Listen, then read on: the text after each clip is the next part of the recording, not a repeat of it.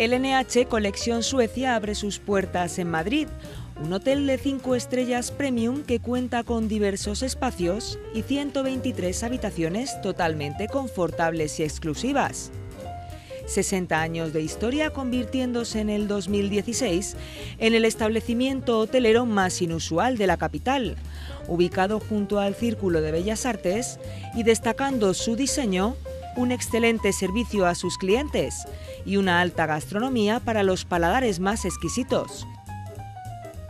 Un espacio inaugurado por la alcaldesa de Madrid, Manuela Carmena, donde ha resaltado la importancia del turismo y la gran labor que ha realizado el grupo NH. Eh, que el turismo abre la mente, abre la inteligencia, nos hace ser capaces de conocer a los demás, de conocer otras culturas y de que nos conozcan a nosotros también. Es decir, que el turismo, aparte de su valor económico, tiene un valor social que enriquece a aquellas sociedades que tienen sus puertas abiertas. Madrid siempre quiere ser una ciudad de puertas abiertas.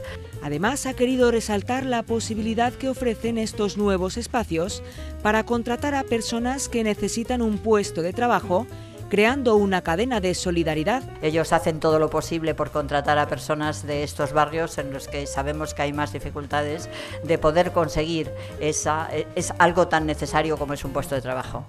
Una inauguración a la que no quisieron faltar numerosos rostros conocidos, como María León, la actriz Esmeralda Moya o la presentadora Paloma Lago, entre otros.